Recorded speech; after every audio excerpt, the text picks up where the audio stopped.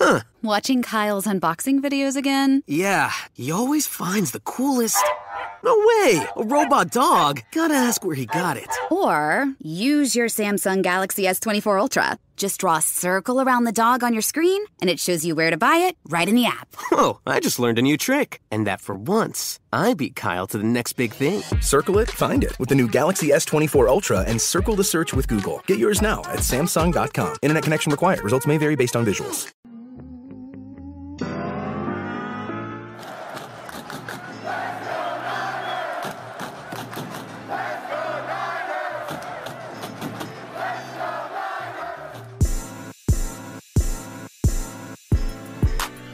Welcome into the 49er Access podcast. My name is Sterling Bennett, and today we answer two big questions. Why is Arik Armstead so disrespected or feels so disrespected by the San Francisco 49ers? And are the Niners going to pay Brock Purdy $50 million on his next contract extension?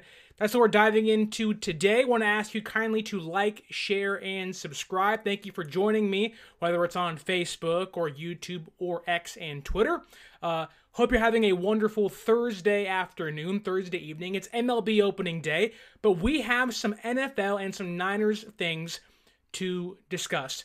I want to say this this coming Monday is the first mock draft Monday of the show. As soon as April hits, that's when we gear up for the NFL draft.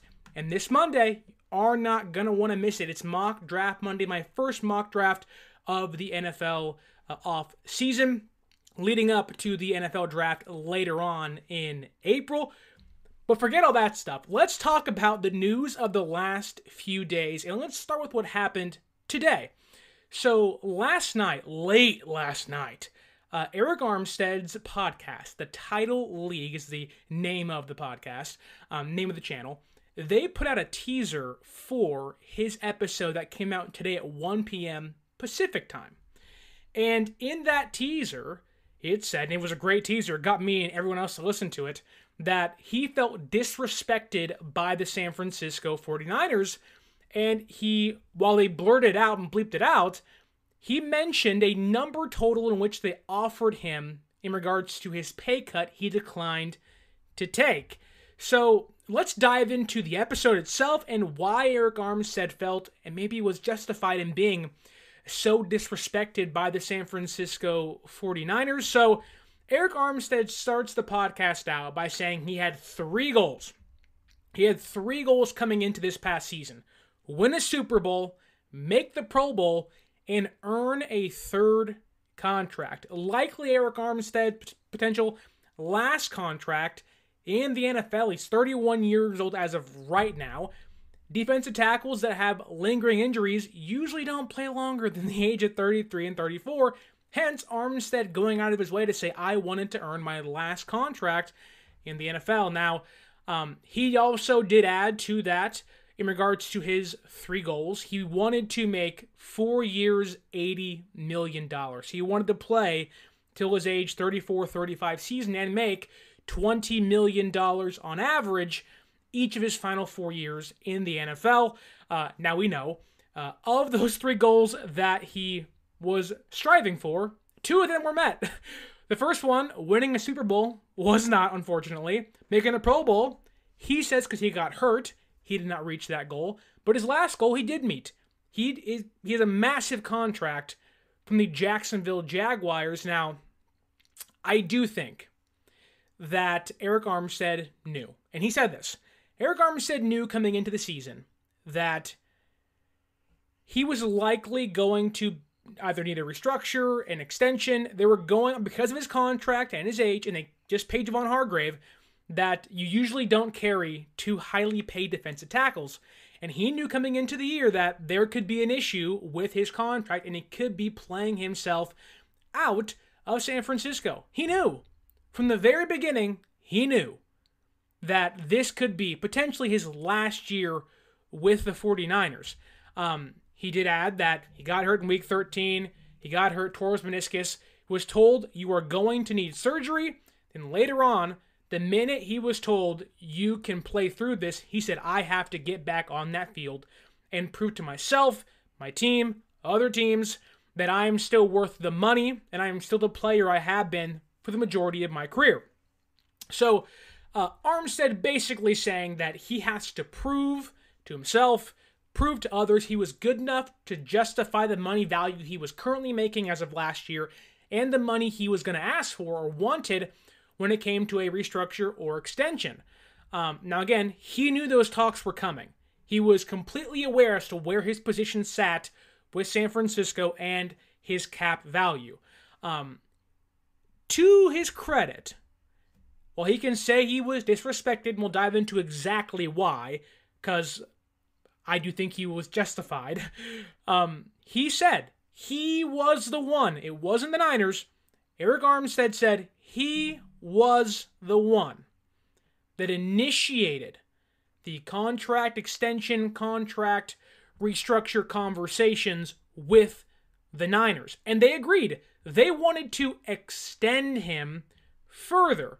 Now, things unfold. They would not give him an exact amount as to what they wanted to pay him. He was shooting for four years, $80 million, which in return would have lowered his cap hit this year, but would have pushed a lot of that down the road. And San Francisco had to make a tough choice. Do you want to pay Arik Armstead and Javon Hargrave and potentially lose players elsewhere? Or you can ask Arik Armstead to take a pay cut. And that is exactly why Arik Armstead said he was disrespected. Now, it wasn't the pay cut himself. The pay cut itself was not the issue for Arik Armstead. It was the numerical value in which they asked him to make. Uh, Arik Armstead's contract with the 49ers uh, last year, uh, or at least his dead cap, was going to be $28 million uh, this year with San Francisco. He was making uh, five years, $85 million. Uh, he had $17 million annual salary. He was making roughly $18 million last year, 28 of that going against the cap hit. They told him, We want you to make not 10, not 11, not 12, not even 8. They said, Hey, Arik, we need you if you want to stay here, to retain you, to keep you under the cap, to keep us with cap flexibility, we need you to make just $6 million and we'll give you $2 million in incentives. So essentially, if Arik Armstead plays well, is healthy, a one year, $8 million contract extension. Uh, the minute I heard that, and I had heard rumblings of what they offered him to be very low, um, which I didn't know if those were true. They came out to be very true, and Armstead said he felt extremely disrespected, and the level of compensation that they offered him doesn't come close to the type of player that he is on the field and what represents him as a player and a person. Um, when I heard that they offered him $6 million base salary, a guy who, and, look, San Francisco in this conversation is not a villain. I completely understand what San Francisco and why San Francisco offered him low money. We've talked about Arik Armstead pre departure, post departure. He was a good player, at times a great player, underrated during his time with the Niners. But while $6 million is really low, I understand they're saying, how do we justify paying Hargrave and Armstead? Like, they're saying, hey, Arik, we'll keep you for $6 million. We can also cut you and free up 18 post June. So, like, San Francisco, in a way, does have some leverage when it comes to cap flexibility when it comes to Arik Armstead's contract and trying to bring that down from him. But uh, I understand, like, what the Niners are doing, why they asked him to take a pay cut, to saying, hey, you missed large chunks of the past two seasons. You're getting older. Your play in the way has declined over the past two years, or at least, if not declined, you aren't on, on the field as much, and availability is the best ability. So, if you aren't going to play 18 games, 20 games, you're not going to be next to Hargrave and Bosa and company for the majority of the season, despite you know having great games and big moments in big games. Um, we can't keep you for a $18 million, $28 million dead cap hit. That's just not feasible for us, knowing we had 20 free agents coming into this offseason. Um, so, like, I get it. I get it. like, what the Niners did, they're not villains. Neither is Armstead. When Arik Armstead says, I felt extremely disrespected, and he added to that saying that it would be tough if I accepted that offer to come back into that building every single day, knowing that that's what I got compensated for, and that wasn't even close to my value. And I can dive into this for a little bit. Um, I was laid off recently, not for my current job, but I was laid off recently, and um, it hurt. I felt disrespected because I had been there longer. I had trained a handful of people that were there before me, and it was a it was a big deal. Like it, I felt like I got you know betrayed almost. That has lingered. Like my relationships with some of those people aren't the same because of that. Arik Armstead, like I'm not making millions of dollars. I wish, but Arik Armstead, like imagine if they asked you, "Hey, you're making fifty dollars an hour, let's say." Eh, you're not worth that anymore we need you to make 15 to fill other roles. Like, imagine how disrespected you would feel like, well, the guys at the top tell them to take pay cuts. Now, the difference here for Arik Armstead, he was the guy at the top. like, you're $28 million in dead cap. You are one of the guys at the top, Arik. Uh, so, I get San Francisco wanting to, you know, free up some money. Armstead was the clearest, the, the clearest path to doing so with a player that I don't want to say is, you know, replaceable or easily replaceable, but by all intents and purposes, he's already been replaced. um, so I don't blame San Francisco. I don't blame Arik Armstead for feeling that way. Why wouldn't you? Uh, he also did add to that, and, he did say that as a player, been in San Francisco for what nine seasons, seven under Kyle, I believe. Been there from the beginning, pre Kyle, with Trent Baalke, Chip Kelly, like been there the longest tenured Niner as of last season. Um, like in his mind, he's like, I'm a Bay Area kid. I went to college in Oregon. This is my hometown team. This is who I grew up watching. Like this is me. Like I am a Niner. Niners are me, right?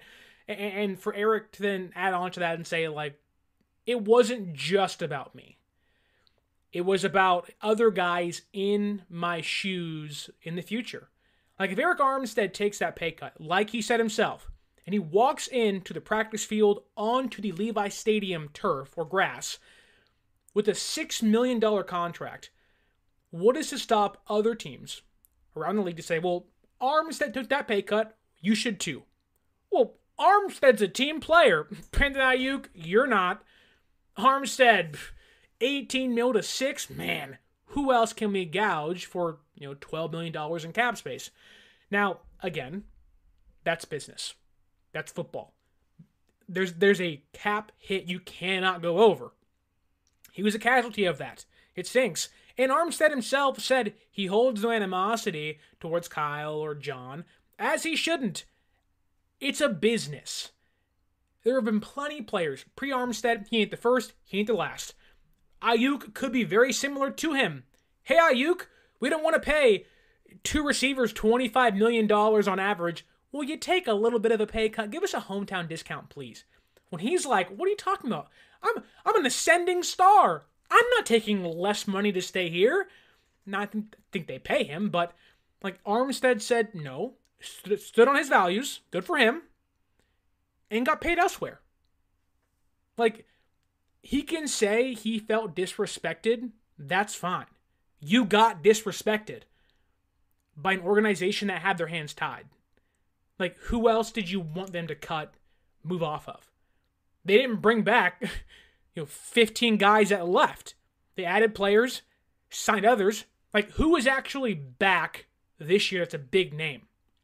I can't think of one big name they've re signed that was an unrestricted free agent. Uh, you got Jauan Jennings. He was the restricted guy. They didn't bring back a big name. Uh, what Demetrius Flannigan-Fowles, Brandon Allen, Ben Bartch, Colton McKivitz, who they extended. I guess Jon Feliciano is probably the biggest thing they brought back this year. Like, there was no other route other than having to disrespect Arik Armstead to make a way to sign players, to actually just fuel the team. Like, if they don't disrespect him. Now, you can say, seriously, like, you couldn't give him 12? Maybe they could have. But we have no idea what their plan was the day before free agency. What if it was, we're going to try for Danielle Hunter? And they were like, Arik, we want to keep you. Need you to take $6 million, not 12 Your extra, whatever it will be, will help us. And it would have given them more money earlier to maybe make that big splash. Who knows? Now that the money's pushed back to June 2nd, June 1st, and they're not going to have it until they can re sign Aiyuk and maybe Brock Purdy or add other players down the road. So that to me felt like San Francisco had a plan in place. And I have no idea if they pitched that to Armstead. Maybe they did say, hey, we're going to pair you with Hunter or, you know, Josh Uche, whoever else was in free agency again, you know, and we're to have this amazing elite defensive line. And, you know, he said, no, like, I want to get paid. And rightfully so. Like, Armstead has every right to say, nope, that's my contract. You signed it. I signed it. I'm not budging. Just as San Francisco has the right to say, see you later. like, so you can feel disrespected. Like, they almost traded you. And again, I, am not coming down Armstead's road, but it's like, what did you want them to do? Like, you knew coming into the year that my contract set myself up to potentially be on the outs. And sometimes you expect things to happen. Like again, going back to going back to me being laid off, there are fine people left and right, gone, gone, gone. And I was like, am I going to be next? No, not me. No, I, I am so invaluable to this organization. And it was like, bang, hey Sterling, making cuts. And I was like, little old me, like you want my X amount of salary off the books. Like, what am I making to affect the top top end here? Uh, but the difference is Arik was the top end. Arik was the top tier guy. You're not cutting Bosa. You're not cutting Javon Hargrave, who you just signed. Like, you're actively looking to extend people. They tried to extend you, Arik, just at a really cheap price. And rightfully so, you said no. Good for you. I wish Arik Armstead the best in Jacksonville. Go crush it. Go bring back the Duval chance. Go bring back Sacksonville. Trevor Lawrence is out there. ETN, they, they got some guys. They got some guys. Go kill it in Jacksonville. And I think that's what Fluffy Ninja is saying in the chat now. Good luck in Jacksonville. I feel like releasing Arik Armstead was a great move for the Niners franchise. Sometimes it hurts to lose people you love. There have been plenty of times in my life. You have a friend, girlfriend, boyfriend, whatever it was, whoever it is for you, like you can love that person, you can care about that person. Sometimes to further yourself, to better yourself. Like if you went to college, you know this. Boyfriends and girlfriends that go into college together usually don't last until Thanksgiving. That's the end date for them. Like because you want to better yourself, further yourself, and view this new pool of people and expand your life, go different directions. That's all San Francisco's doing. They came to a point, they said, hey, like we, we have a crossroads here, Arik. We, we want you to be here. We want you in our lives. We appreciate you.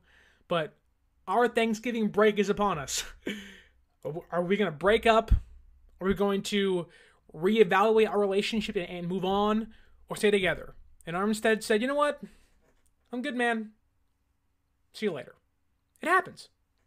That's the way it goes. Uh, Bobo asks a good question. Uh, did they say they were really close to a compromise and a restructure, though? Um, my understanding was that they were not close on any of those, a restructure or a new deal, but he was almost traded to the Texans for Maliek Collins, and that trade fell apart. Um, now, who knows why it fell apart? Maybe it was them winning also that seventh round draft pick. But at the end of the day, Maliek Collins is now in San Francisco. so, whatever reason that fell apart, it did feel like San Francisco offered him a deal. He said, mm, he gave them a chance to reconsider, to, you know, he countered. They did not recounter from his own words. So, he may have said, how about 14? They may have said, pack your bags, buddy. get out. uh, we wish you well on your future endeavors. Um, and I just think that you know, it, it like it sucks to lose Armstead, but if it makes us better, and he's in Florida now, you got California, got a lot less taxes over there. You got the beach, you got the humidity, you got Disney World. Like, there, California's great. That's where I live, right? Weather's great, besides the last couple weeks, but like you go to Florida, like people love Florida for a variety of reasons. It's like you go to South Beach, Miami, like Armstead'll be just fine out there with Jacksonville in the Everglades, right? Um, and I wish him well. Like he's gonna get to play against Demeco and and Stroud and Anthony Richardson. He will have plenty of opportunities. Like they're gonna be a good team. Like they can win the AFC South. They could be a top seed in the AFC. Like it's not like he's playing for the Titans or um, in sort of like Washington or, or, or the Panthers. He's playing for a pretty good team that just has to bounce back after a bad season, right? Uh, but there was no deal in place in regards to restructuring him. It was they were going to trade him. Two DeMeco Ryans in Houston. That fell apart. Um, Ezra Pound. Ezra is always like Ezra, always in the chat, always on Twitter. Good guy, Ezra. Good guy. Um, John Lynch struck out with Solomon Thomas and Javon Hargrave. Does he try for a defensive tackle in this year's draft? So, obviously, depends on how the draft board breaks down and falls in San Francisco's lap. Who's there, right? Um, I have done, in preparation for Mock Draft Monday, to get an idea as to who's going to be there at 31 you know, you do 20 mock drafts, 30 mock drafts, and say, okay, like this is the consensus grouping of players I like. I can tell you right now, mock drafts this year are crazier than they've ever been. And it mainly stems down to quarterbacks, right? Bo Nix might go 12 to the Broncos, and you're like, seriously? like, how is that even a pick in a mock draft in the first round? Like, you need to fix your simulators. Um, and you see Michael Penix in the first round, and you see, you know, Caleb Williams not going number one overall, which is going to happen. Um, but going back to Ezra's question, will San Francisco draft a defensive tackle? Um, in the draft entirely, yes, they need one. Whether it's round one or seven, they have to have one. Um, in the first round, it depends. I am someone who has my eyes on Kris Jenkins. In the second, now will he be there? that's that's the NFL draft. Who knows, right? Uh, but I do think it's important for San Francisco, knowing you just let Armstead go for a good reason. Um, brought in Maliek Collins. His contract's not guaranteed after this season, and you want to get younger. You want to extend your window. Uh, it would benefit San Francisco first, second, third, top of the draft, right? Uh, to replace or you know replace to add a new defensive tackle next to Hargrave. You can go into this year with Collins and Elliott and, and Givens and, and Kalia Davis and uh, a rookie or two. That's fine. That's great. But you have to find a replacement, uh, quote unquote, for Arik Armstead. Now, it can be a totally different player. Um, I have a feeling that they like, I think it's Maason Smith from LSU. Um, or, or it's Wingo from LSU. Both those guys, different players entirely, I do think it would benefit San Francisco, at least this year, to draft a run stopping um, defensive tackle. That was supposed to be Javon Kinlaw. It wasn't. Um, and you have Elliott, who's a better run defender than Maliek Collins. Maliek Collins is a pass rushing uh, defensive tackle. And you do want to give yourself flexibility to have Yetur Gross-Matos inside and outside, but you also don't just want to have him playing defensive tackle on rundowns. Um, so I think you would benefit San Francisco to you can have Hargrave and Maliek Collins on passing downs. But you go get a big body guy like Maason Smith from LSU if he's there in the second round as your run stuffing defensive tackle um, and pair him next to Hargrave. It's a pretty good onslaught of defensive tackles you have in that room. Uh, so of course they're they're going to draft one. If they don't, I will be shockingly surprised. Kris Jenkins, Maason Smith, uh, if they want to go another pass rushing defensive tackle, uh, I'm forgetting his first name, but it's Wingo from LSU. He is just one of the best first steps in the entire draft. He's incredible. Um, he could be a third round or late second round pick. Uh, I would look to those guys. Uh, I don't think it would be wise unless a you know a stud Byron Murphy, a Newton from Syracuse is up there. If those if one of those guys fall, then we're having a different conversation. But I have a hard time believing, knowing how highly those guys are touted, they're going to be there. Uh, so I, I, do think, Ezra, yes, that they do replace or they draft the defensive tackle, pair him with Arms or with Hargrave, excuse me, and get their quote unquote Arik Arms the replacement. They have to get a run stopper. They do not have one yet. Elliott's fine. Bosa's good. Leonard Floyd's, you know, like they, they have some pieces, right? They don't have that one just mean, just bulky human, like bowling ball, you know, they don't have their DJ Jones. They're just mean, gruff, just I'm gonna crush a, uh, a ball carrier in the backfield. Like they need to have that guy. Um, it, I'm telling you, if Maason Smith is there, it's M A A S O N Smith from LSU. That is just oh, put him in this system. You have yourself the five tech you've wanted. like forget Kinlaw, forget Thomas. This oh, you give me Maason Smith next to Hargrave on on on rundowns. Boy, we're having some fun. Uh, but again, back to Armstead. Be or feel disrespected. That's fine. You you yourself said I expected this to happen, so it is what it is. Like, what do you want us to do? Like, he's speaking his truth. That's fine. The reality of it is, that's football. That's life. That's free agency. How many guys got cut? A lot of them got cut. A lot of people get cut all the time. Like, Tre'Davious White has been an amazing cornerback for the Bills. Tore his ACL, tore his Achilles while he was hurt. They cut him and said, See ya. Now he's in the Rams. Like, great players get cut every single day for a variety of reasons. All Armstead is, despite it hurting, is another stick in the wall. Um, all right, let's go to Brock Purdy because Jed York, in a way, kind of put his foot in his mouth, and it made me laugh because, like, I understand we're discussing the inevitable. They are going to pay Brock Purdy. What I don't understand is even if you're asked a question about him, even if you are, hey, you got to pay Brock, like, why would you even say a number value when you have to pay Brandon Aiyuk this offseason? Like, if San Francisco was asked, John Lynch, Shanahan, Jed York, hey guys, you have to pay Aiyuk, you know, blah, blah, whatever the question is, right? And one of them said, well, you know, Aiyuk's going to ask for around 35, you know, million dollars on average and about 65 guaranteed. Why would you say that? You are already setting yourself up in public for Aiyuk to now say, well, that's the number you said, friend. If that's what you're willing to, or that's what you think I'm going to ask for, by all means, here's the contract. And they're going to slide it over. And it's like, why? Like, Brock Purdy can't even be extended until next offseason. I get it, it's going to happen. Why are we talking about it? But they're talking about it, and unfortunately, when you get caught off guard, or in this case, you just open your mouth when you shouldn't, you say things that you shouldn't say.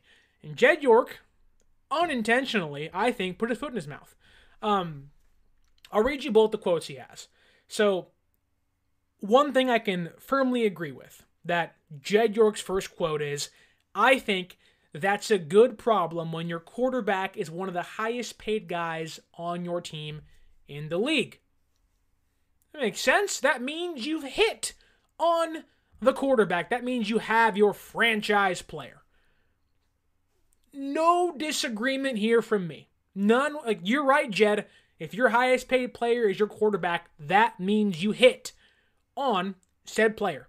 Whether it's Jimmy G, Trey Lance, like had any one of those guys when they were at their peak got the contract, which I know Jimmy did, but a week later it was the lowest, or like 12th again, right? But you hit on Brock Purdy.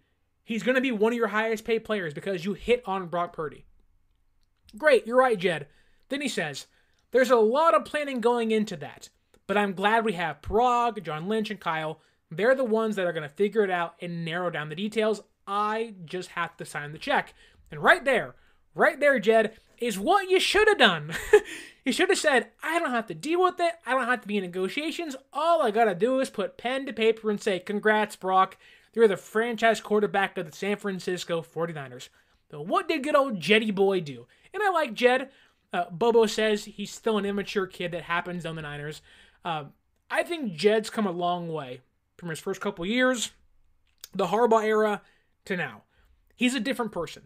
He's learned a lot. He will tell you, I was wrong, that he was stubborn. Like, Jed has learned a lot. um, some things you still have to learn, though, and it's prematurely talking about things that, well, yes, you can say, we love Brock. He's a great player. We plan to get him paid. We, like, when talking about Nick Bosa and George Kittle and Fred Warner and Aiyuk and Deebo, what have they not done? mentioned a numerical value and matched it next to their name. You want to know why? It sets parameters for a contract. Like that's like if you go like I used to watch Pawn Stars all the time. You never make the first offer. You never make the first offer. Once you make the first offer, you give the other guy leverage.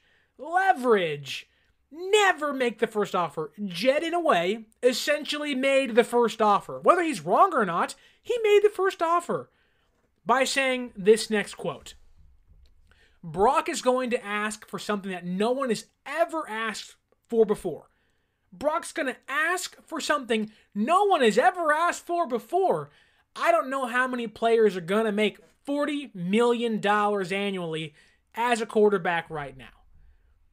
With threats to our nation waiting around every corner, adaptability is more important than ever. When conditions change without notice, quick strategic thinking is crucial. And with obstacles consistently impending, determination is essential in overcoming them. It's this willingness, decisiveness, and resilience that sets Marines apart. With our fighting spirit, we don't just fight battles, we win them. Marines are the constant our nation counts on to fight the unknown. And through adaptable problem solving, we do just that. Learn more at marines.com. Why, even if you're right, why say any number? And if you're just say, we'll pay Brock, why, like, whether it was 30 or 40 or 75 million dollars, what do you not do? They will pay him. He'll ask for the highest amount ever. I don't know how many guys are getting 40 million right now, and Brock's like, whoa, man, I can make forty million dollars a year. You're you're you're giving Brock Purdy and his representation leverage. You've already put a money value out there into the ether, in public. It's all over the news. And again, it doesn't mean they're not going to pay him. It doesn't mean Jed's even wrong. In fact, I think Brock's going to make over $40 million. He might make over 50, right? But why would you say that? So, what will Brock Purdy make? Since Jed has set the baseline, $40 million per average, on average, that is now the baseline for Brock Purdy's contract. Ultimate foot to mouth for Jed York. And he's right. Like, he's not wrong by saying Brock Purdy's going to make $40 million. He's 100% right. Brock's going to make more than that. like, no matter what Jed said, but again, you don't make that first offer. Because what if Brock Purdy came in low? What if Brock Purdy said $40 million? And you're like, yes, bargain, let's do it. Now Brock's like, well, they already said 40. I'm going to ask for 55. And it's like, Jed, the owner of the San Francisco 49ers, this is business 101. I have a journalism degree.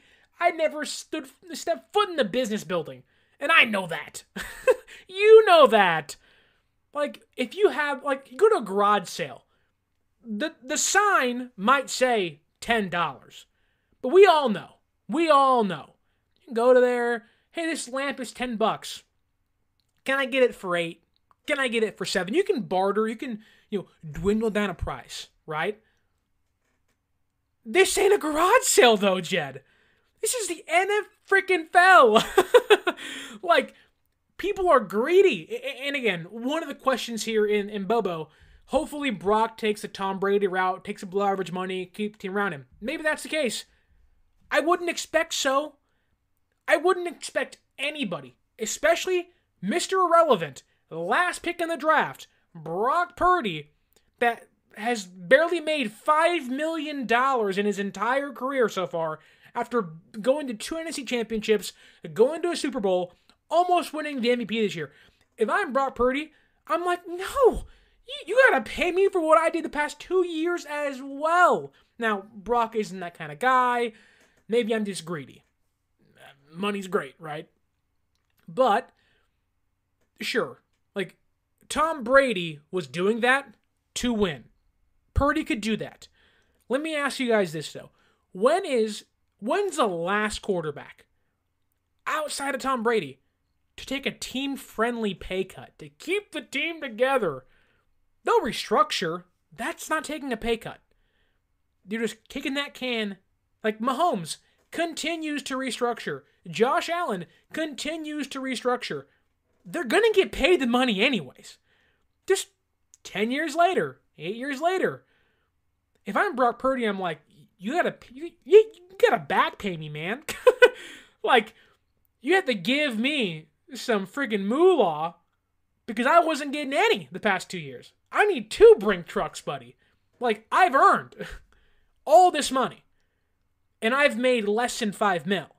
Like, I want back pay, my friends. And, and look, um, I think that Brock Purdy, looking at quarterback contracts now, if Jed is saying $40 million is the baseline, well, Jed, I'll tell you this right now. Um, let's see. One, two, three, four. Oh, excuse me. Uh, see if we can get it here. Uh, you know, a live podcast takes some work, some production behind the scenes, right? Um, let's see. We got Mahomes, 45 on average. Burrow's 55. Herbert is 52. Jackson's 52. Hurts is 51. Murray, like, you have about 14, 15 quarterbacks making $40 million and up, Jed. And I'll tell you this right now Brock is better than Daniel Jones. He's beat Dak twice. He's beat Matthew Stafford. Like, he's better than Kirk Cousins. And if you think he's on par with him, fine. Kyler Murray's making $46 million on average. Deshaun Watson making $46 million on average. Jalen Hurts, $51 million on average. So, Jed, like Robbie uh, agrees with me in the chat, took all your leverage away, buddy. What do you mean? I don't know how many quarterbacks making $40 million. Half! Half of them, my friend, are making $40 million. And Brock's beaten half of them before. Dak, Kirk, Deshaun, like Kyler, Hurts. Like, I get you can obviously dive into, well, is Brock Mahomes? Is Brock Burrow? And those are conversations that are going to happen. Conversations that'll, you know, it's a fluid conversation of is Brock Purdy really worth $55 million a year? That's Joe Burrow's top mark. Okay, 12 quarterbacks make 40 plus million dollars. Nine make 43 plus million dollars and four of them make over 50. Joe Burrow makes $55 million a year on average. I don't think Brock Purdy's worth $55 million. No. I don't think Brock Purdy thinks he's worth that. But would I be befuddled and be like, oh my God, aghast? I, I've lost my breath. I'm surprised if Brock Purdy doesn't come in in a year's time and say, hey, Jed, hey, Kyle, hey, Paraag, hey, John, Jalen Hurts is making $51 million. I destroyed him last year. I've proven to you that I can be darn near the MVP. And Lamar Jackson, he beat me. He's making 52. If Brock Purdy walked into negotiations at $51.5 million, would you be shocked? No, I wouldn't be. I wouldn't be shocked at all. And neither should Jed. Now that you said the baseline's $40 million. Like, sure, 12 quarterbacks are making that. Is Brock Purdy the 12th best quarterback in football? I don't think so. Is he the best? No, he's not. Mahomes is by far. Mahomes is making Mahomes is making 45, my friend. Like, and there are a ton of other quarterbacks making more than Mahomes that are not better than him. Deshaun, Kyler, Jalen, Lamar, Justin Herbert, Joe Burrow. Like, Jed York saying a numerical value, does it change the whole process? No, it doesn't. But you already start saying numbers. You essentially made the first offer. And Brock Purdy's like, man, $40 million? Hmm. I'm better than Dak. I'm, I'm a lot better than Dak. What does Dak won? What have I won? Man, I'm way better than Daniel Jones. Okay, Matthew Stafford, great. He's 34 years old. Like, Brock Purdy walks in to negotiations now with even the tiniest sliver of leverage. Now, do I think Brock gets $56 million and resets the whole market? No, I don't. I don't think anybody in the entire league, like if Brock Purdy was a free agent, who and what what would that contract look like? It'd probably look like Kirk Cousins' contract, right? You know, was it four years, $45 million a year? About Mahomes' money? Okay. But Purdy's younger than Kirk Cousins, not injured like Kirk Cousins, completely healthy. He's younger, has already kind of surpassed Kirk Cousins amongst the NFL talk, uh, uh, media, and coaches and everything. Like, people view Brock Purdy albeit somewhat equal to, a little higher than Kirk Cousins. Okay, well, it's 2025 next year. That cap is going up. Deshaun got 46 and he was diddling people with the massage table. Purdy's like, I'm a good Christian boy. I just got married. like, you're to have to give me 50. Like, like come on. like, like, I'm not trying to get vulgar, but like, this is not a hard conversation to have. If Deshaun's getting 46 Kyler's getting 46.1. Like, Brock Purdy's fitting right in between Kyler and Jalen. 46.1 and $51 million. Like, that is the sweet spot for a Brock Purdy deal. It gives you $5 million to work with. Of Are you on the high end, the low end? But who knows how much that cap hit or how much the cap goes up next year.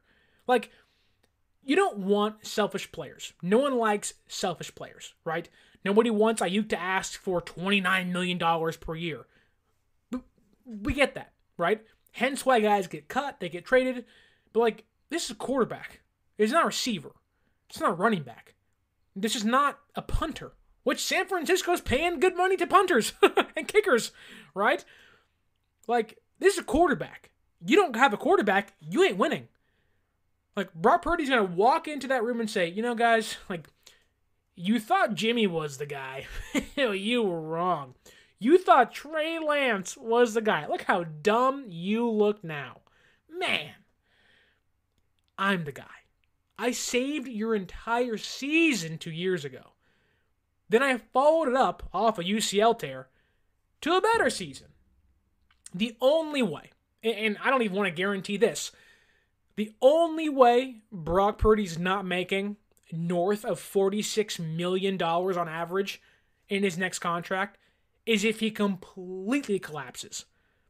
If he has this this, this unholy, catastrophic season, whether it's an injury or it's just piss poor play and he gets benched. That is the only way Brock Purdy's not making 46 plus million dollars once his contract negotiations start. And if he takes a big discount, great. I tell you now, 40 already was the starting point, but now you've raised a level jet. Like now it's 45. Now it's pay me like Mahomes. Now it's 46. Pay me like Kyler. And I like Kyler. Like what? like Kirk Cousins got $45 million from the Falcons off a torn Achilles. And Brock Purdy's like, whoo, man, I like people would pay Brock $45 million. Not 50, sure. 47, maybe.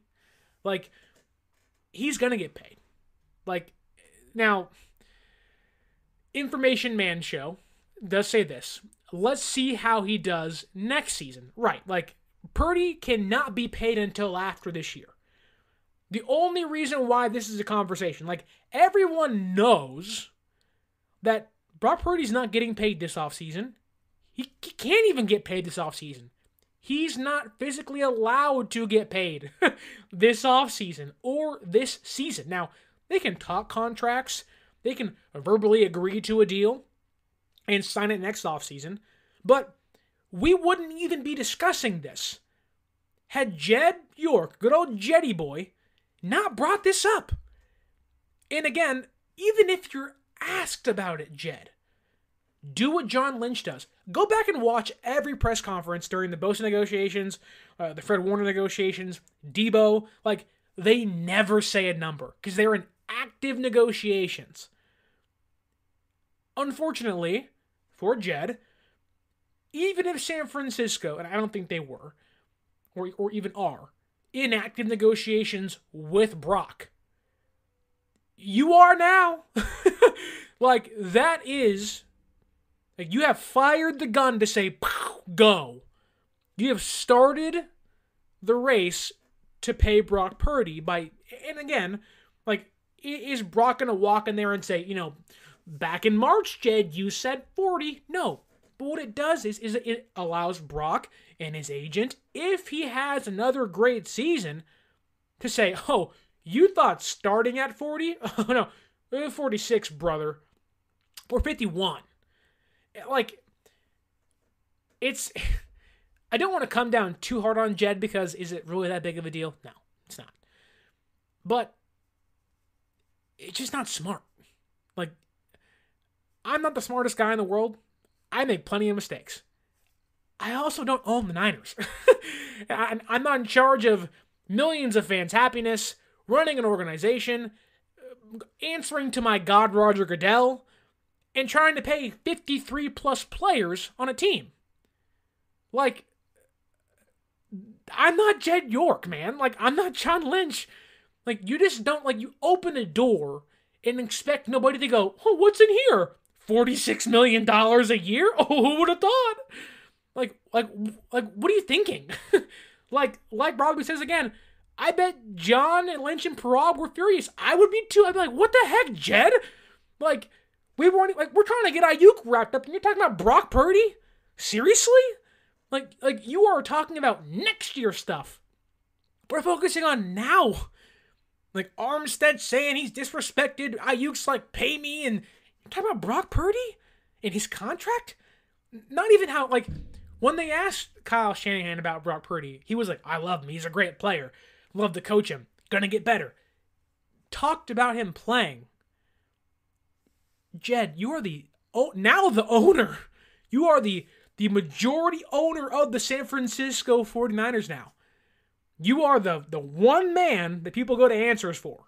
You are the face of ownership of the Niners. And your response was, "How many quarterbacks are making 40 million dollars, man?" Half, Jed. Half. like like what are you doing? like again, it's not that big of a deal but Brock Purdy's coming off of record setting seasons. Like, they owe something to him already. That contract was already going to be big. And Jed said, you know what? I'm going to take my foot and put it right in my mouth when it comes to discussing next year's offseason plan. Like, we all know that they're going to pay Aiyuk, hopefully. Hopefully, extend Jauan Jennings for a year. Lower their cap hits. Now, create a ton of carryover cap into next year. Hope next year's salary cap goes up again. Restructure some more people and say, oh, Brock, we have a contract and give it to him. That's the plan. like, that is the most feasible, logical plan. And it's not that that plan still can't come to fruition or can't work, but San Francisco just told Arik Armstead to buzz off if you don't want to take a, you know a twelve million dollar uh, uh, uh, words um take a twelve million dollar reduction in pay. Buzz off. We'll save eighteen and push it off till June second. Six million dollars mattered that much to San Francisco. $12 million this year mattered that much to San Francisco. That's how much they wanted to save on Armstead. In one year, did not want to pay him over $9 million. You want to know why? They wanted that carryover cap. like, they wanted the carryover cap. It's like, man, like, and it's not like Brock's the only guy they have to pay, and Jason Hurley, who does great stuff, great work with the cap. If Brock keeps it up another MVP like season, he's getting 50 plus. Exactly. Exactly, Jason. Like, you have, and, and you're right, you have to structure it correctly. You have to structure it right, lower some cap hits like they do all these players, Fred and Deebo and everyone else. Like they have put and they have structured outs in contracts like Deebo for a reason. You're 29 years old, you can got the contract, save some money. But they have to pay guys like Lenoir, Hufanga, Mooney Ward. Like, it's not like Brock's the only guy. And if Jed saying $40 million is the baseline, and you lose Hufanga, you lose Lenoir, You can't pay Mooney Ward the money he wants, and he leaves, and you weaken your team in return. Now, again, this may not happen, but it opens the door. and if I'm the Niners, and I'm sitting back like, man, like we have a great team, we can win it all right now. Let's keep the core together. What do you do?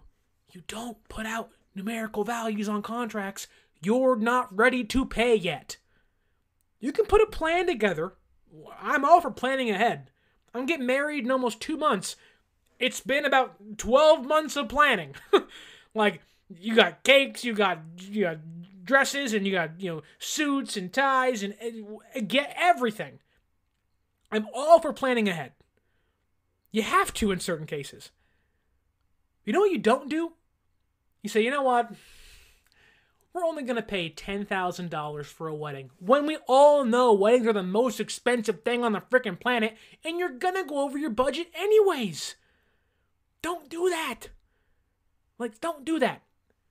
You go into it and say, let's find the right price, the best price on everything. Like, you got a budget, that's fine. You got to do you. The difference is, this ain't a wedding. This ain't a we can cut here and cut there. My wedding doesn't hinge on my marriage. if my wedding sucks, my marriage can still be great. if Brock Purdy, like, if you lose stars on your team, you lose all these pieces because you set a budget you can't meet, you get worse. Even if Brock is still there. And I love Brock. Brock had an amazing season. An amazing season. Almost an MVP. Like Brock can take a pay cut, he can get better, he can elevate the team. Like no one's taking those out of the conversation, but it's like Jed, buddy, friend, buddy old pal, companion, compatriot. What are you doing? He's you acting dumb, buddy. You saying dumb things you shouldn't just yet. Like, don't do that. Like, don't do that. Um, Robbie says here, uh, he never sees anyone say, is Kyle, John, Jed, the team believe in him, uh, so much that they risk the reputation and cutting Trey. Like, I think they're prepared to pay him 50. So, or what Robbie's saying is that the Niners, everyone, Kyle, John, Jed, Paraag, the whole team, have said, we believe in Brock Purdy. They, he thinks they're, prepare, they're preparing to pay him 50, as they should. Like, Kyle's calling him the real deal after like the third practice of OTAs in training camp two years ago. Like, he moved off the guy he traded up three first round draft picks for and was like, nah, we have Brock, it's fine. Like, sure, money plays into that conversation, his low cap hit and his low salary, sure. But, and that's why you have to win. Like last year, and when you lost, you have to win those games. But when you know you have the guy, like, when you know you're going to into a big business meeting, like, oh, you know, okay, we're gonna make our pitch to you. You can ask for a lot of money. They can respond and say, mm, "How about X, Y, Z?" Then you make your counteroffer, then go from there. Jed literally, instead of you know, writing on a note card and sliding it over and being like, "How's this sound?" He was like, "Hey, how does this sound right here? How does forty million dollars sound right now?" Why? like, why? Why you do that, man? Like, there really isn't even much to say. It's just like you're so stupid. like, you didn't need to do that. oh man, like I love Jed York because he does stuff like this, and you're like, man, wow, okay. like,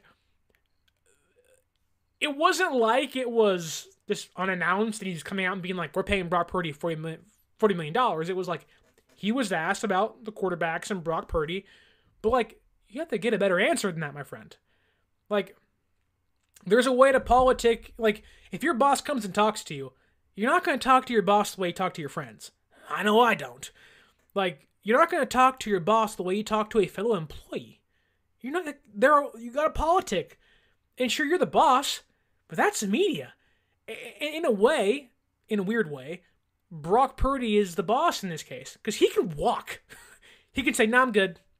The Vikings they almost signed me a couple years ago uh, when I was almost not drafted. I'm gonna go to Minnesota and play with Kevin O'Connell. Like that's an option. Like if they don't come to a deal, he can leave. He can say, "See ya, adios." So like why set parameters that you will likely meet, but don't need to be discussed now. It's like having a conversation with your wife, your boyfriend, your girlfriend on things two years down the road, and you're like, 2026? It's 2024. Why are we talking about this now? Like, that's, we'll talk about that then, like later. Like, closer to the point of action, not two years in advance, a year in advance. Like right about now is when you would hear Brock Purdy has agreed to a $51 million per year extension with San Francisco. And Jed's like, well, watch this $40 million. oh, like, Jed, you don't need to do that, my friend. Like, you just don't. Um, Ezra Pound asks a question that is quarterback related, not Brock Purdy related. Uh, quarterbacks always get hurt. Will San Francisco draft a quarterback? So, um, I've gone back and forth on this because pre Joshua Dobbs signing, I would have said yes. It makes sense to have a camp body in there. Um, my understanding was that the quarterback number two was gonna be Brandon Allen. Um, he has guaranteed money. They said, you know what? We want to insulate that room more, get a better backup quarterback, which Joshua Dobbs is much better than Brandon Allen. Um, but now they have two quarterbacks behind Brock Purdy making guaranteed money. That to me solidifies that room. Uh, it doesn't mean that those guys are you know guaranteed spots on the roster, but um, like Nate Sudfeld two years ago, he had guaranteed money, and San Francisco said that Brock Purdy kid special. We're keeping him over Nate Sudfeld. Um, so it isn't to say that Brandon Allen's job is locked, you know, in, in locked in place and he's guaranteed a spot, but I think it means San Francisco is more likely to sign an undrafted quarterback, get them into camp, knowing the odds of them ever playing is slim to none and basically zero. Like the odds of them making the team are basically zero, right? Knowing you have Purdy, Dobbs, and Allen. Um, and I think the I think NFL changed the rule where the third emergency quarterback can be a can be a practice squad guy. So it doesn't like maybe that's a conversation to have around quarterbacks of like you can cut Brandon Allen and your third quarterback could be a young rookie, a practice squad player that doesn't take up a roster spot on Sundays, um, which is pretty interesting, or doesn't take up a, a roster spot during the season, right? So, um, maybe like I, I think it was named Devin Leary from I think Duke. Maybe a, a lot of fans like I like him a lot, um, but it feels more like San Francisco is going towards the UDFA route in regards to quarterbacks. Um, I also think, like, I do wonder what San Francisco's mindset of quarterbacks will be once they have to pay Brock Purdy. You can sign two backup quarterbacks and give them guaranteed money behind Brock because Brock's making nothing, right? I do wonder what that mindset will be after they pay Brock. I, I don't think you're going to find yourself with two quarterbacks as quarterback two and three behind Purdy being, you know, guaranteed or having guaranteed money. I think it'll be one guy. Um, but the quarterback room to me right now is kind of done. Like it's off my draft board. I think it's solidified. Um, I think that like there is no need to waste a draft pick on a quarterback knowing you have a guy. Like Dallas didn't draft one. Uh, the Falcons didn't draft one or won't draft one this year because they have Kirk. Um, Chargers ain't doing it. Bills ain't doing it. Ravens ain't doing it. Eagles ain't doing it. Cardinals ain't doing it. Like, if you think Purdy, who will be paid alongside Hurts, Murray, and those guys, if those teams aren't doing it, and Brock, in a way, has outperformed them, why would you do it? Um, now, I'm all for having a good backup. That's fine. We need that. Um, I, I don't drafting quarterback seems like it's like nah, like that is the furthest need of this team. Um, Robbie again says, uh, when John Lynch said we budgeted for Bosa, I think Bosa's agent heard that and said, "Really, bro? Right? Like, like you budgeted for Bosa. You may have made a budget." Doesn't mean it's the same one Bosa has set for himself. like, and that's what makes a player hold out until week one. Meanwhile, Brock is like, you know, like it wouldn't it would be hilarious. Hilarious. And I don't think this is true, but it'd be hilarious if Brock was like, "Oh man, like I'll ask for 35 million dollars uh, per year." And as soon as Jed said 40, he said, "40? We're asking for 40." like, "Honey, we're getting 40 million dollars next year." Like it would just it would make me just bust up laughing if that was the case. And Jed unknowingly like rose Purdy's price up through the roof and was like, "We can get more than 35. Oh my god. Like, I'm just married. We can buy a mansion now." like, it would make me laugh so hard like because like again, the comment doesn't need to be made and Jed was like, "Watch this." it's like like knowing Purdy how humble he is when he goes to Iowa to shuck corn and be in the fields like he could have been asking for something less. I don't think he was, but let's say he was. And Jed's like, oh crap, this rose that price up. And John and Kyle are like, are you freaking serious, man? S- stop talking. Stop talking. You're making this worse. Like, now we can't pay Hufanga. Now we can't pay Lenoir. Like, can you shut up?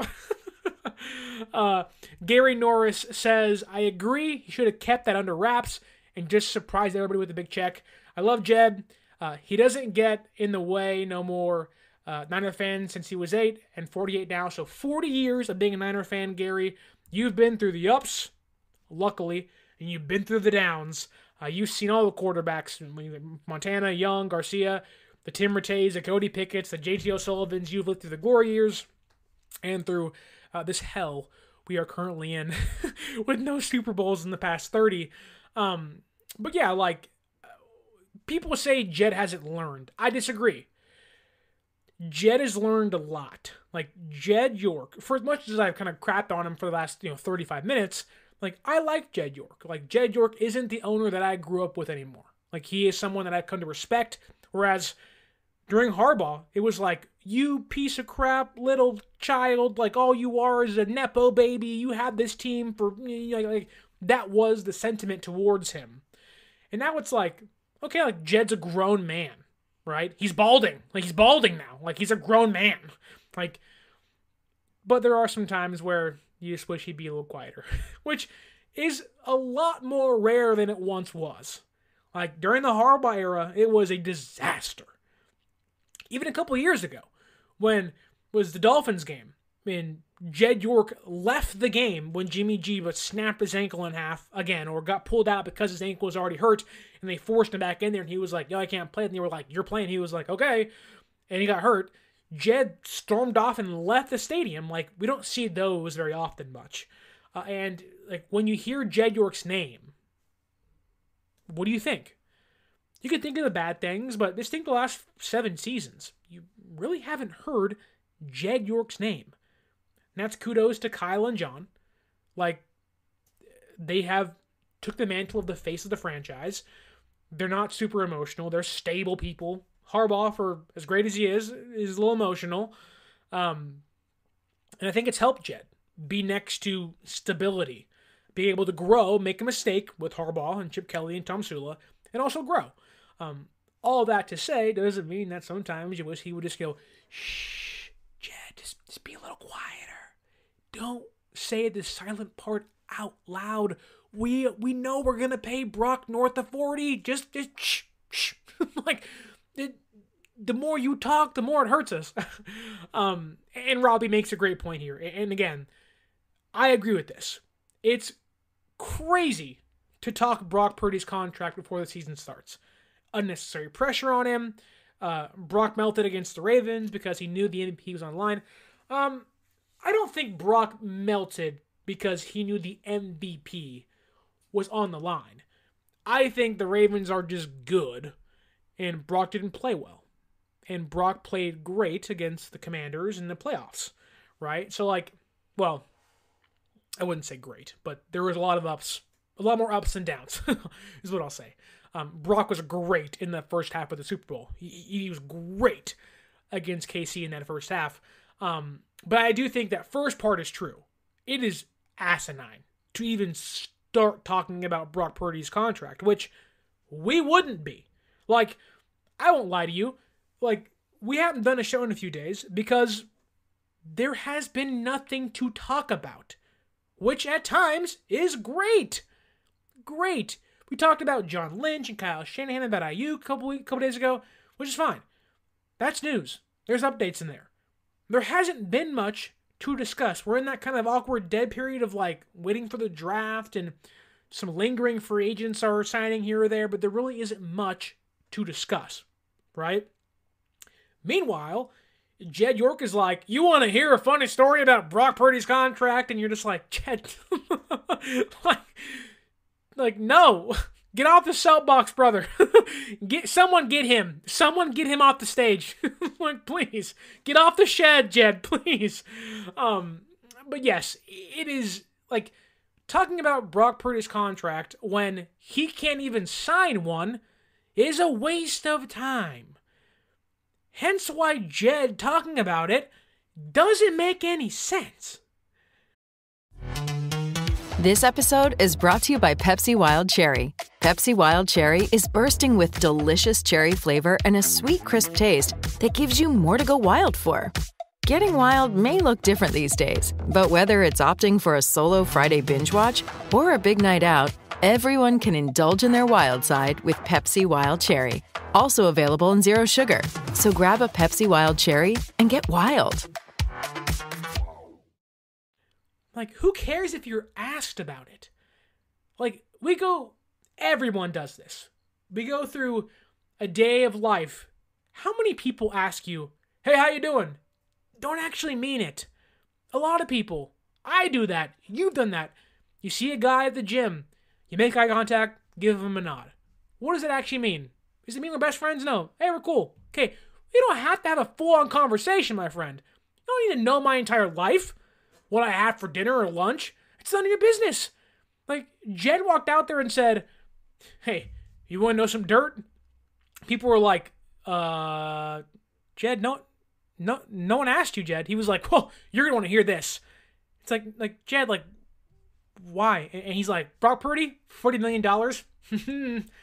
it's like, okay. Like, thank you. Thank you for saying that, Jed York. You have maybe made Brock life even harder now.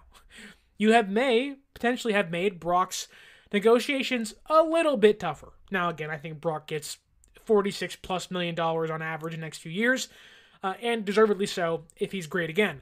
Um, I will say this though. I will say this. If let's say Brock Purdy has a bad year, well, let's say he's subpar Brock Purdy. Let's say he feels more like a Dak Prescott, empty calories, right? Derek Carr, you know, the, you know, the screen vulture. He just screen pass, screen pass, screen pass. We have 322 yards and four touchdowns. You lost 47 to 5, man. Like you have garbage time yardage, right? Um, let's say that's Brock Purdy. Let's say his value plummets. You have now started the conversation at $40 million. At least. At least. And again, I, I think Brock gets paid, but we have also seen quarterbacks get paid. We've seen quarterbacks in San Francisco get paid with this regime, and in two years' time, them say, wish we didn't do that. Man, he's missed three seasons of injuries. Oof. We've seen this exact same regime trade up for a quarterback. And in one year's time, two years' time, say, oh, he does not have it. And, and so, like, this is the first quarterback that they're all in. They completely buy into everything he preaches and sells. They buy into him as a player and a person. They are willing to put Brock as the face of the franchise for five, six years. More than Jimmy, more than Trey. They are full on on the Brock Purdy train till the wheels fall off. Great, as they should be. Let's say those wheels or one wheel falls off. Okay? I don't think it will, but let's say it does for the sake of conversation. Um, you have now, and let's say with that, with with a bad Brock Purdy season, let's say his contract value falls lower than the 12th quarterback in football. Let's say it falls, I don't know, around a Derek Carr, an Aaron Rodgers, a Jared Goff, Baker Mayfield. And Brock's like one better than Baker, one better than Jared. I had one bad season. Really? Jared was awful two years ago. Baker, he stunk in Carolina. He got $33 million a year, and you've already mentioned the number 40. well, um, 40 is the max. Like you have set parameters on a contract, whether Brock's great or terrible this year. And I think he'll be great. Like no one's saying Brock's going to be bad, but on the off chance he gets hurt again, which has happened plenty of times with this regime, like you have locked yourself into 40 plus no matter what now. Like 40 is the baseline.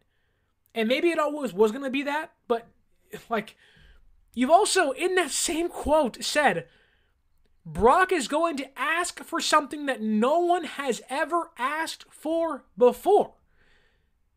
So forget 40. like, if 40 is the baseline, no one's ever asked for before. Bro is making $55 million a year. You have simultaneously said 40 is the lowest contract we're going to pay for, and he may ask for $56 million, and we're not going to be shocked. Yeah, you may not be shocked. That's great. Be shocked by yourself in a quiet room where you say, I can't believe Brock's asking for $56 million. You don't say it in front of the media. like, like, like it just makes me like I'm someone who's very quiet. I'm someone who's very like reserved, like won't talk to people mostly. Like I'm friendly, not a mean guy. I'm just like I just like to stick to myself sometimes. Um and I'm I'm fine staying inside all day. I like the outdoors, but like I'm I'm cool if I don't talk to a single person for a whole day. I'm good with that, right? And so like when I hear people extroverts, you might say, go out and just say all these things and go to the media and just spill all their tea. I'm like, you could have just like not done that and like shut up and kept it to yourself for one year's time. It's not like you couldn't have private meetings with Brock and John and, and Kyle and Paraag and say, oh, Brock's going to ask for 40, isn't he? 56 might be on the docket, Paraag. Budget for it. But instead, you're like, you know what? At the NFL owners meeting, which is one of the maybe five times anyone asks you a single question all year long, you decide to say, Brock might ask for the most money we've ever seen in the sport. Like, I'm trying to wrap my head around the logic behind that. Like, it's not like Jed has a post game press conference every Sunday, Monday, and Thursday. Like, I was shocked when they asked him questions as they were leaving for Vegas.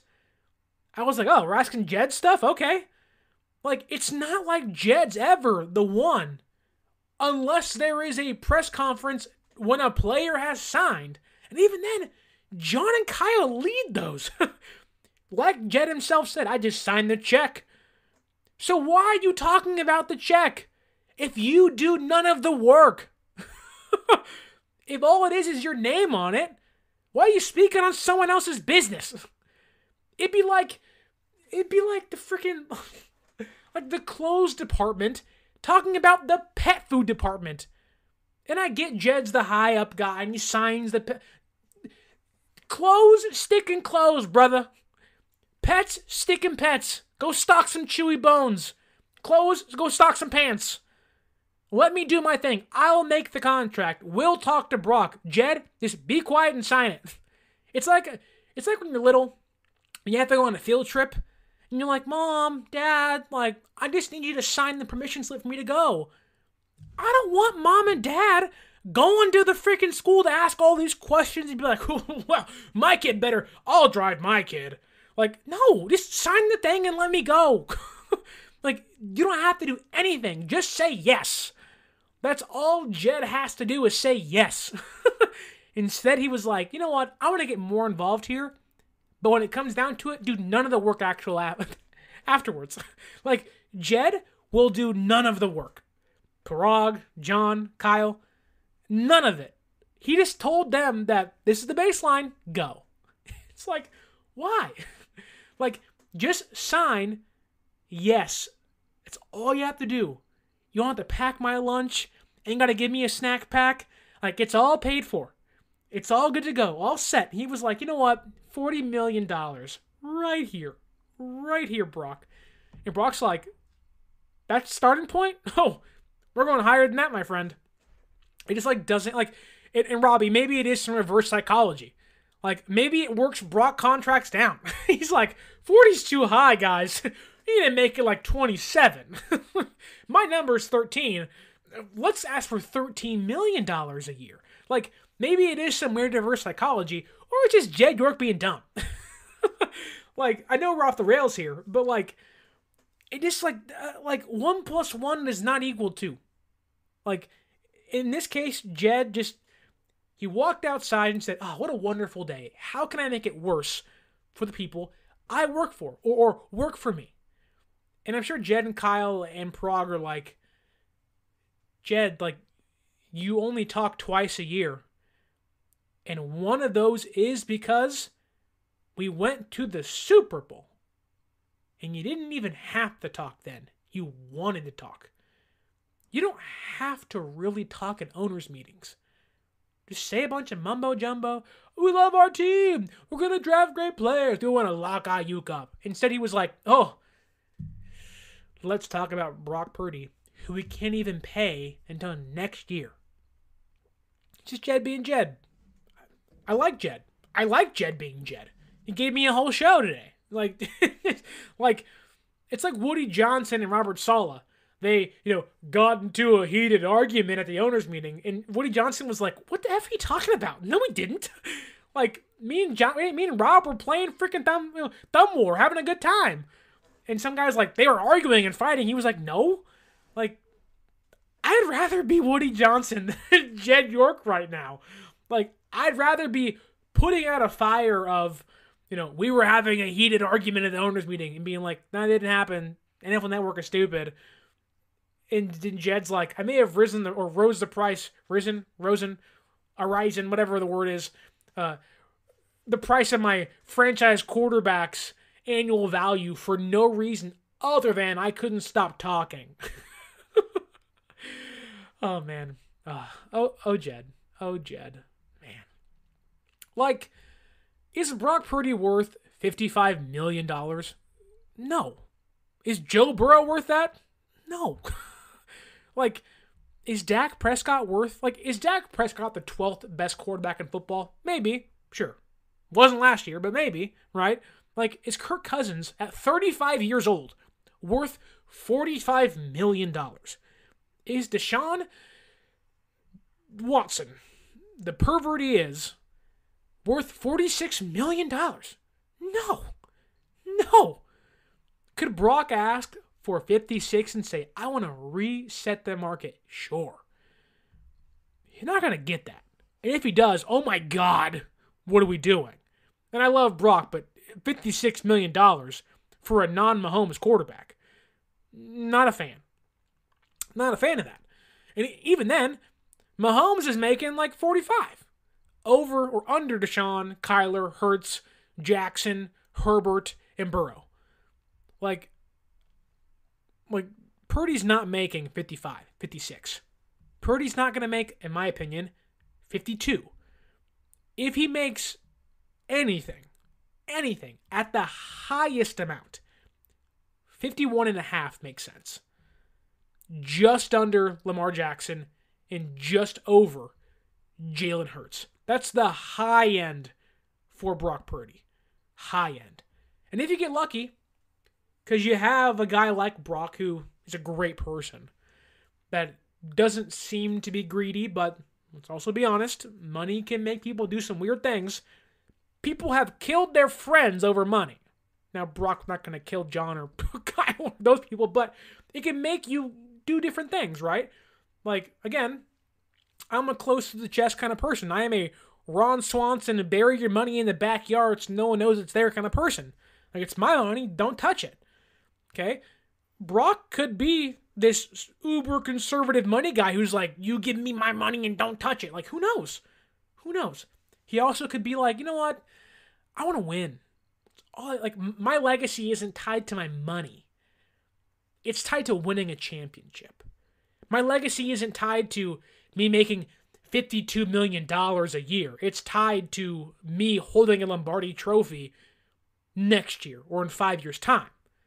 Like, you know, it really just like, not to say that we'll learn more about Brock Purdy when it comes to his contract, you know, as a person, right? Like, we know who Brock Purdy is. We, we know what he values. Hence, why we like him so much. Um, but I do think there are a lot of players that get criticized for you valued money over winning. You valued an extra $6 million over having XYZ player re signed.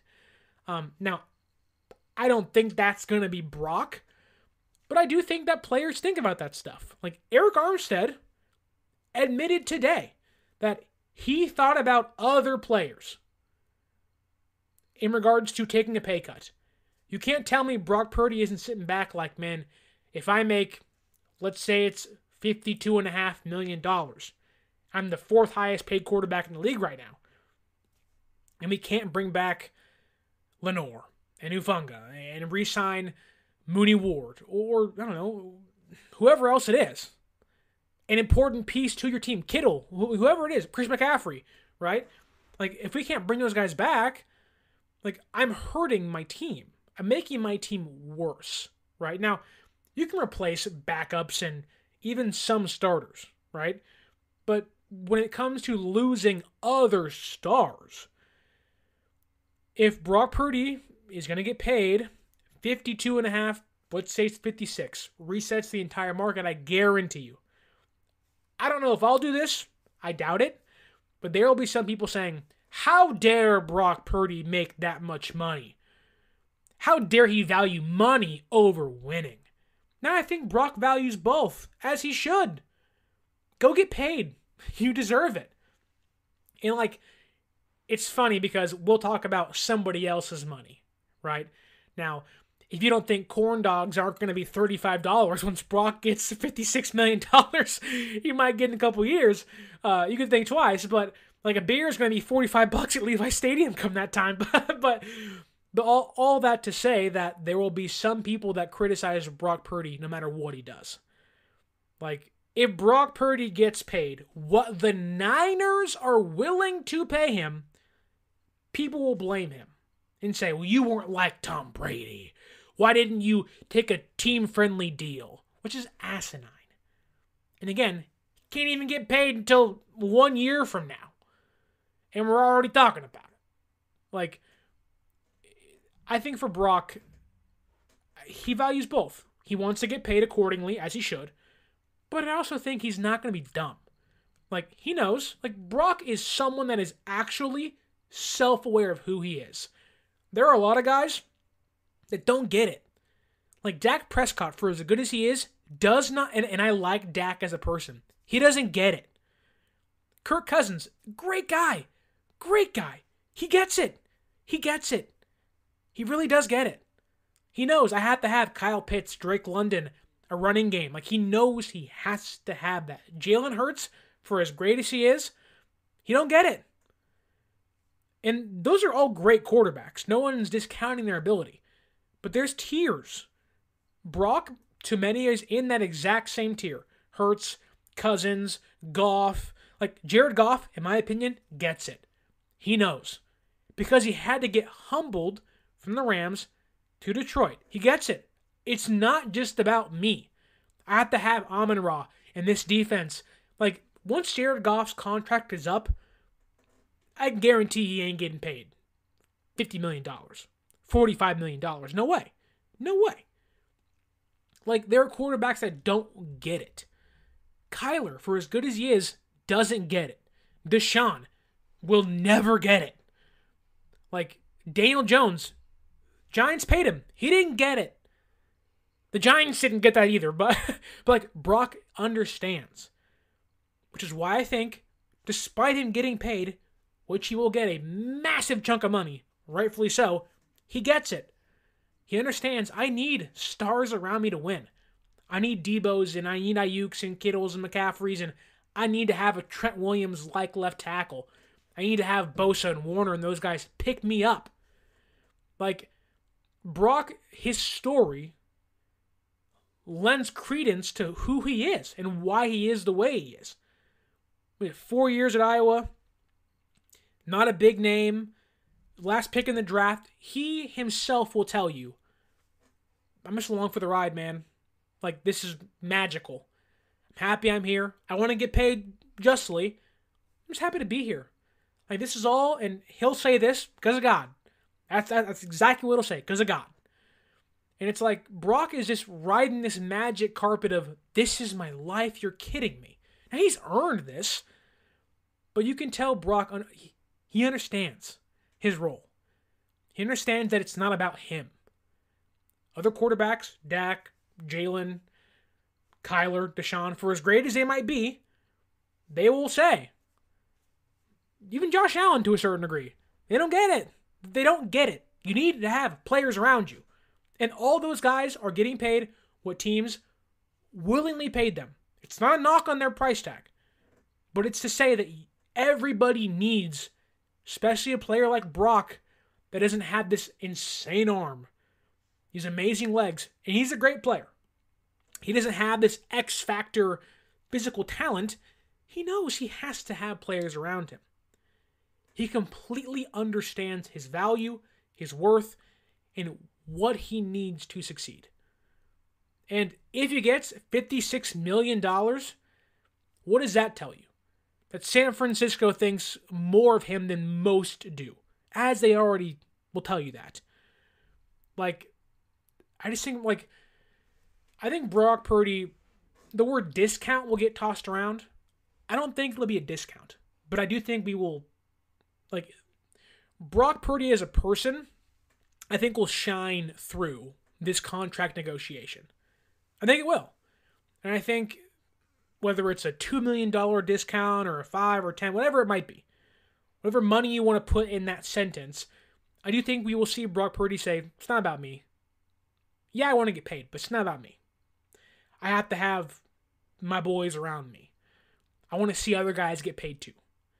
And in a very different way, that's what Armstead did. Now, it took Armstead to leave, but like Armstead and like Purdy, they aren't just thinking about themselves. Armstead said, if I take this pay cut, what does this do for the next guy in my shoes? Well, you're not you're not, you're not team friendly. You're not a team player. Insert player here. And that and that can turn a player against you and be like, what do you I gave you nine years of my career. Like, John Lynch and Kyle Shanahan do think Armstead is a team player. They love Derek. They wanted to keep him. They just couldn't. Armstead said, I have to look out for myself and my fellow player so they can get paid as well. And in a very different way, I think Brock Purdy does the exact same thing. Now, who knows how much? Who knows if it's one less year of a contract or if it's just an insane structure of let's push all of it to the end and keep my cap hit as low as it can be and be open to constant restructures, maybe that's it. Maybe it isn't the day of signing, but it's throughout the entire contract. We continually see Brock Purdy push that money down the line. Maybe that's the case. But I do think for Brock Purdy, even if Jed says $40 million and opens his mouth and shouldn't have, I, I do think we will see Brock Purdy as a person shine through these negotiations and in his contract the entire way through. He knows he has to have 52 other men next to him to win it all. Listen to any press conference he has. He rarely ever mentions himself. And if he does, it's I have to get better. I need to be better. Not many other guys will say that. Brock Purdy will. I think it'll shine through in these contract negotiations once he can sign next year. All that to say, thank you so much for watching, listening. Information Man Show, Jason Hurley, Robbie. I really appreciate all the comments. Ezra, Gary, uh, again, everyone so much. Prime Sports Media, uh, Bobo. You guys are awesome. Thank you so much uh, for chiming in on the YouTube chat, on Twitter, Facebook, whatever you guys are watching on. Want to ask you kindly to like, share, and subscribe, whether it's on the visual platforms, mainly on YouTube. But if you're watching or listening on Spotify, Apple Podcast. You subscribe on there, leave a review. It is the cheapest, freest way to help the show grow. I would greatly appreciate it. Don't forget to follow us on social media at 49ers underscore access is the Twitter or X. 49ers.access is the Instagram. And today was MLB opening day. I'm will be going to a baseball game very, very, very soon. And when I do so, I'm going to make a new SeatGeek account and use my own promo code to save some money. And I want you to do the exact same thing. Go to SeatGeek.com, make a brand new account, and use our promo code 49ersaccess. 49 E-R-S-A-C-C-E-S-S at SeatGeek.com and save yourself $20 off your first purchase. There are tickets that are 60 bucks a pop, $120. You can get those down to 100 and sit at the front row at Oracle Park. Man, that's a good price. You can watch some Giants play the D-backs of the Pirates. It's a great price. Go watch some baseball at a cheaper discounted price. It'll pay for your parking, it'll pay for your beer, it'll pay for your nachos. Not all at once, but it'll pay for one of those things. Everything's so expensive now. Man, man. What a wonderful night. Thank you guys again. Jason, have a great one. Hope to hear from you soon. Bobo, we're hoping for a sixth. Hoping for a sixth, but stay tuned next Monday, this coming Monday after Easter. Have a wonderful Easter. If you have kids, hide some eggs, steal some eggs, eat some eggs, do something with the eggs, whatever you want to. Uh, have a wonderful Easter. But next Monday, this coming Monday, mock draft Monday, first one of the NFL draft season going to do one each week leading up to the NFL draft, so stay tuned. Don't forget to like, share, and subscribe. And as always, my name is Sterling Bennett. Until next time, stay faithful.